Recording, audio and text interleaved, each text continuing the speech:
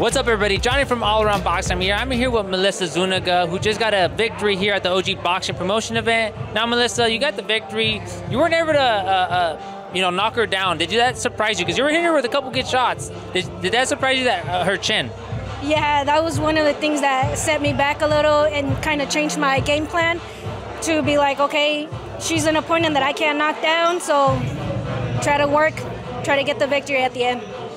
Now, were, you were saying in the ring that you trained for a southpaw and orthodox fighter. So how were you able to make that adjustment inside the ring? Because doing it outside the ring in a uh, training camp is one thing, but doing it in the ring is a totally different thing. So how were you able to do that? I, I just watched her feet. So every time I watched her feet, okay, I would step back, come with the claim plan for the whatever stance she was doing, and try to achieve it. Pretty much. So congratulations on your victory. Um, I know at the end, man, her mom was saying stuff. Did that? It, it, it was funny to look at, man. But you know, you're coming to your own as a pro boxer, and you see stuff like that. What did you think?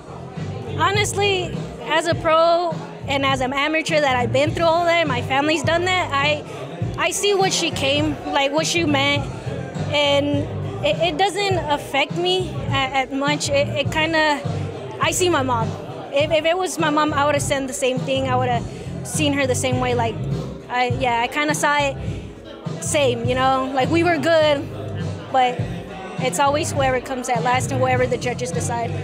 So if, if I had lost that fight, I would. It would have been a loss, a bad loss in my book because I'm trying not to lose right now in the beginning, but it happens. Well, Melissa, you hit her with a couple clean shots. You look good in there. To me, you were the winner, clear cut. So I don't think there's a question with that. So I don't know why her mom was tripping.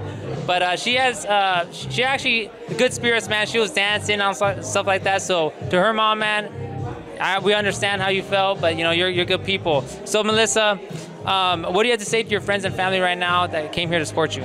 Man, thank you. If it wasn't for them or my family, honestly, I wouldn't be as good as I am because they actually give me the chance to train two, three times a day and for that, I appreciate them. These these fights are all for them. That's why I always try to come out with a victory because at the end of the day, I'm doing this for them, not for just for myself. That's awesome, Melissa. Congratulations on your victory. I appreciate you talking to me. Yep, and I'm here with Melissa Zuniga, who just got a victory at the OG Boxing Promotion event. Thank you, man.